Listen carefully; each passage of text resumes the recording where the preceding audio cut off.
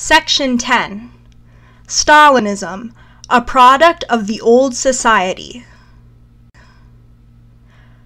Russia took the greatest leap in history, a leap in which the most progressive forces of the country found their expression. Now, in the current reaction, the sweep of which is proportionate to the sweep of the revolution, backwardness is taking its revenge. Stalinism embodies this reaction.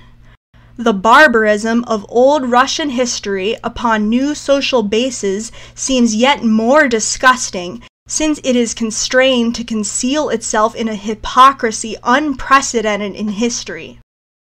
The liberals and the social democrats of the West, who were constrained by the Russian Revolution into doubt about their rotted ideas, now experienced a fresh influx of courage. The moral gangrene of the Soviet bureaucracy seemed to them the rehabilitation of liberalism. Stereotyped copybooks are drawn out into the light. Every dictatorship contains the seeds of its own degeneration. Only democracy guarantees the development of personality, and so forth. The contrasting of democracy and dictatorship, including in the given case a condemnation of socialism in favor of the bourgeois regime, stuns one from the point of view of theory by its illiterateness and unscrupulousness. The Stalinist pollution, a historical reality, is counterpoised to democracy, a supra-historical abstraction. But democracy also possesses a history in which there is no lack of pollution. In order to characterize the Soviet bureaucracy, we have borrowed the names of Thermidor and Bonapartism from the history of bourgeois democracy because, let this be known to the retarded liberal doctrinaires, democracy came into the world not at all through the democratic road. Only a vulgar mentality can satisfy itself by chewing on the theme that Bonapartism was the natural offspring of Jacobinism, the historical punishment for infringing upon democracy, and so on. Without the Jacobin retribution upon feudalism, bourgeois democracy would have been absolutely unthinkable. Contrasting to the concrete historical stages of Jacobinism, Thermidor, Bonapartism, the idealized abstraction of democracy is as vicious as contrasting the pains of childbirth to a living infant. Stalinism, in turn, is not an abstraction of dictatorship, but an immense bureaucratic reaction against the proletarian dictatorship in a backward and isolated country. The October Revolution abolished privileges, waged war against social inequality, replaced the bureaucracy with self government of the toilers, abolished secret diplomacy, strove to render all social relationship completely transparent.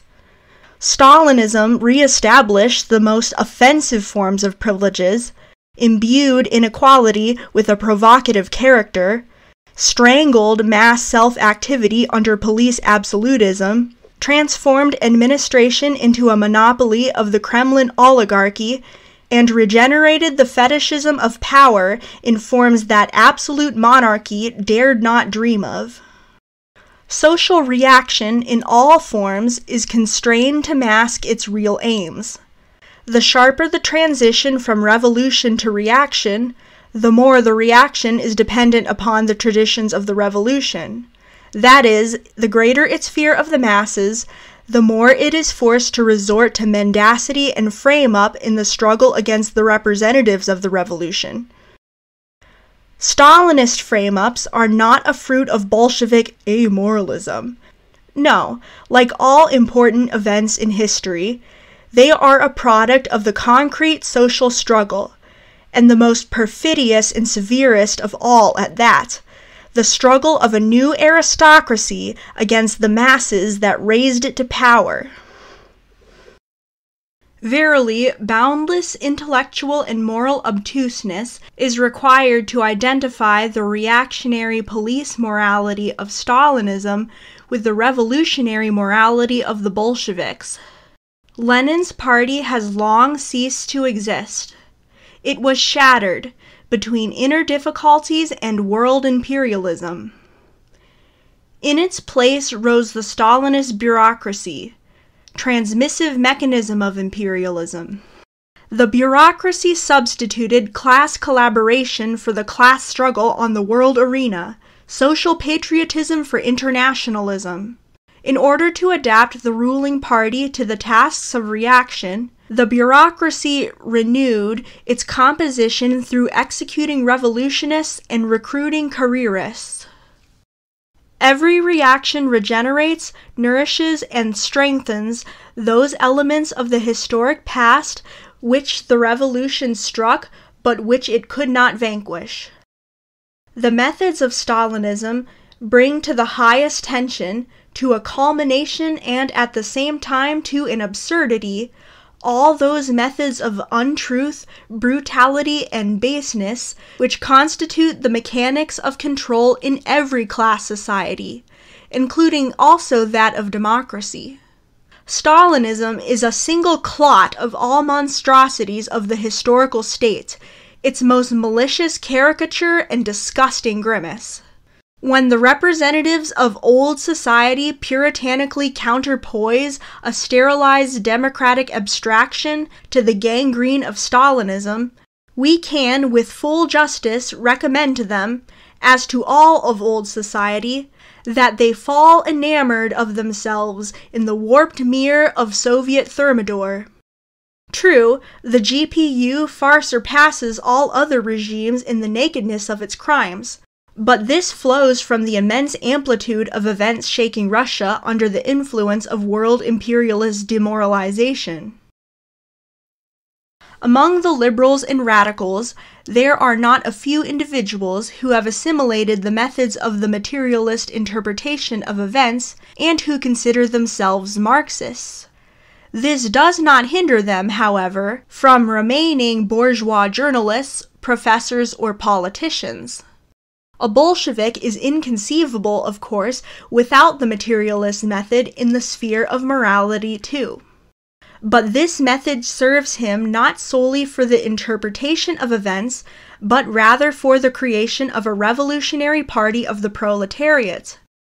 It is impossible to accomplish this task without complete independence from the bourgeoisie and their morality. Yet bourgeois public opinion, actually now reigns in full sway over the official workers' movement. From William Green in the United States, Leon Blum and Maurice Thorez in France, to Garcia Oliver in Spain. In this fact, the reactionary character of the present period reaches its sharpest expression. A revolutionary Marxist cannot begin to approach his historical mission without having broken morally from bourgeois public opinion and its agencies in the proletariat. For this, moral courage of a different caliber is required than that of opening wide one's mouth at meetings and yelling, Down with Hitler! Down with Franco! It is precisely this resolute, completely thought out, inflexible rupture of the Bolsheviks from conservative moral philosophy, not only of the big but of the petty bourgeoisie, which mortally terrorizes democratic phrasemongers, drawing room prophets, and lobbying heroes. From this is derived their complaints about the amoralism of the Bolsheviks. Their identification of bourgeois morals with morals in general can best of all, perhaps, be verified at the extreme left wing of the petty bourgeoisie, precisely in the centrist parties of the so called London Bureau. Since this organization recognizes the program of proletarian revolution, our disagreements with it seem, at first glance, secondary. Actually, their recognition is valueless because it does not bind them to anything. They recognize the proletarian revolution as the Kantians recognize the categorical imperative. That is, as a holy principle, but not applicable to daily life. In the sphere of practical politics, they unite with the worst enemies of the revolution, reformists and Stalinists, for the struggle against us. All their thinking is permeated with duplicity and falsehood. If the centrists, according to a general rule, do not raise themselves to imposing crimes, it is only because they forever remain in the byways of politics. They are, so to speak, petty pickpockets of history. For this reason, they consider themselves called upon to regenerate the workers' movement with a new morality. At the extreme left wing of this left fraternity stands a small and politically completely insignificant grouping of German emigres who publish the paper Neuer Weg, The New Road. Let us bend down lower to listen to these revolutionary indicters of Bolshevik amoralism. In a tone of ambiguous pseudo praise, the Neuer Weg proclaims that the Bolsheviks are distinguished advantageously from other parties by their absence of hypocrisy.